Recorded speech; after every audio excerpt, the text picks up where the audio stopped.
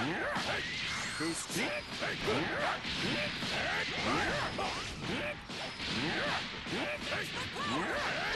slow. No! Pass! You're not gonna get away.